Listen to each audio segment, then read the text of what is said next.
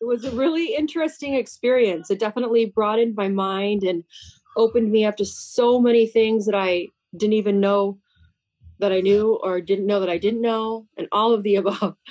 And you were an amazing teacher, Reg, and I'm really appreciative of all of my classmates um, for being so supportive, especially the people that I really worked with closely. Um, yes. Erica was amazing, Tahira was amazing, and everybody else was just really, really great. So I really had a very good experience, and I appreciate everyone.